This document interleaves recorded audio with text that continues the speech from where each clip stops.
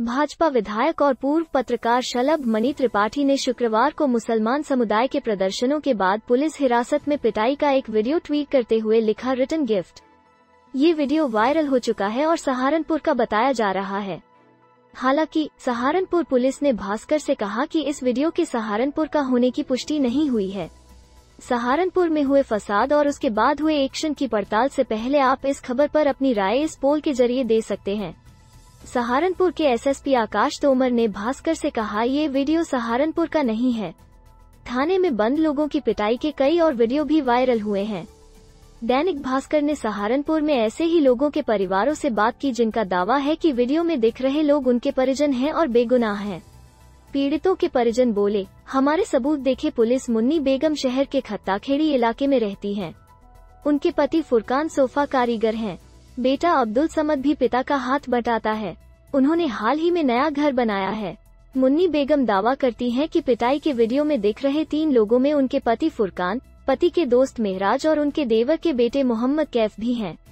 मुन्नी कहती हैं मेरा बेटा अब्दुल समद चचेरे भाई मोहम्मद कैफ के साथ कमेटी के पैसे देने शाम को साढ़े चार बजे घर से मोटरसाइकिल पर निकला था रास्ते में उन दोनों को पुलिस ने पकड़ लिया और थाने में बंद कर दिया हालाँकि इस बारे में एसएसपी आकाश तोमर का कहना है कि जितने भी लोगों को गिरफ़्तार किया गया है, उनके खिलाफ पुलिस के पास पर्याप्त सबूत हैं।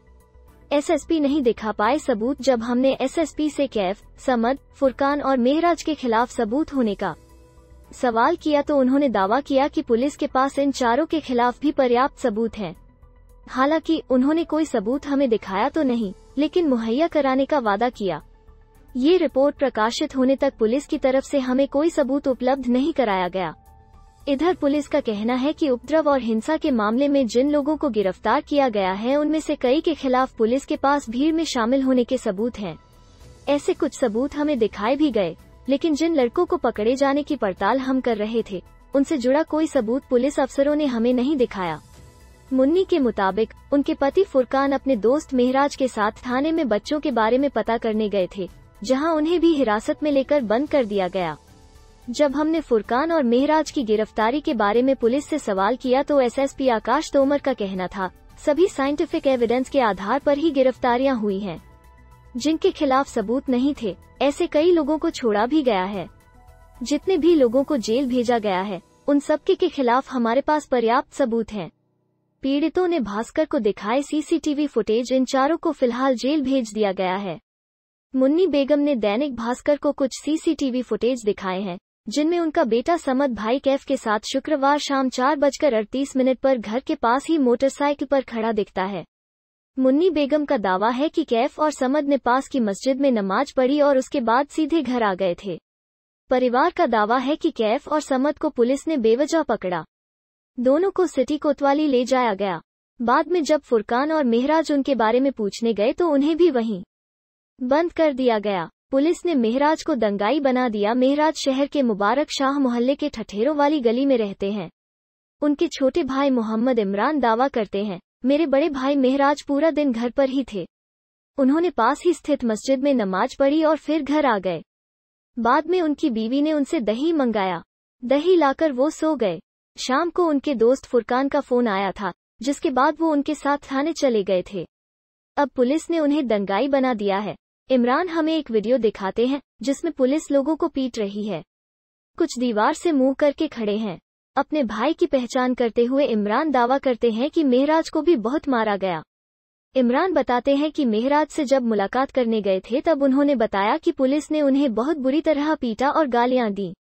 इमरान ने हमें कई सीसीटीवी वीडियो भी दिखाए जिनमें उनके भाई मेहराज शहर में हुए उपद्रव के समय अपने घर के पास ही नज़र आते हैं। वो शाम को पास की दुकान से दही खरीद कर जाते हुए भी दिखते हैं।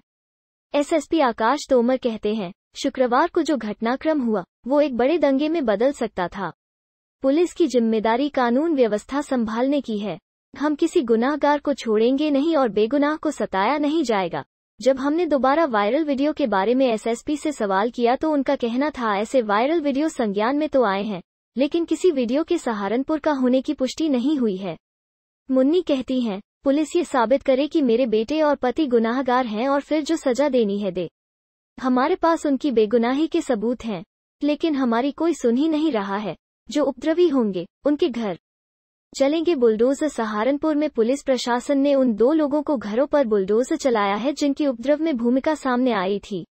इनमें से एक किराए के घर में रहता है। क्या गिरफ़्तार किए गए और लोगों के घरों पर भी बुलडोजर चल सकता है? इस सवाल पर एसपी सिटी राजेश कुमार कहते हैं। प्रशासन अपना काम कर रहा है। आगे भी बुलडोजर चलेगा। जिनके मकान अवैध पाए जाएँगे तो वो भी तोड़े जाएँगे। बुलडोजर चलाए जाने के सवाल पर तोमर ने कहा, नगर निगम और स्थानीय प्रशासन ने उन्हीं घरों को तोड़ा है जो अवैध बने हैं। आगे भी ऐसी कार्रवाई नगर निगम और प्रशासन कर सकता है।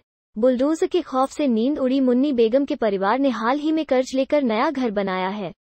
मुन्नी इस डर से रात को सो भी नहीं पा रही हैं कि कहीं उनका घर भी ना गिरा दिया जाए।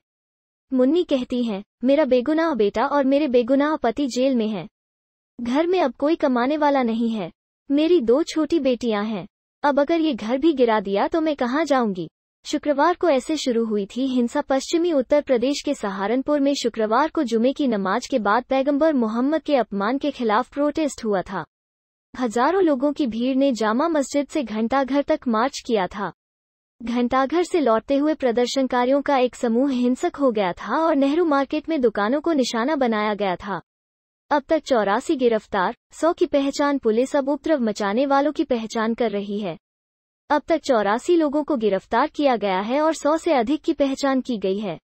पुलिस आगे भी गिरफ्तारियाँ कर सकती है। जो लोग प्रोटेस्ट में शामिल थे, या जो गिरफ़्तार हुए हैं उनके परिजनों में अब बुलडोजर और पुलिस कार्रवाई का खौफ साफ़ नज़र आ रहा है। शहर में बहुत से लोग प्रशासन की इस कार्रवाई को सही ठहराते हुए कहते हैं कि सख्त कार्रवाई न करने से गलत संदेश जाएगा और आगे भी ऐसा ही उपद्रव हो सकता है। कई लोगों का ये मानना है कि प्रशासन ज़रूरत से ज़्यादा सख्त कार्रवाई कर रहा है और चपेट में कई बेगुनाह भी आ रहे हैं। परिवारों ने अपने सबूत सामने रख दिए हैं। अब पुलिस के सबूतों का इंतज़ार है।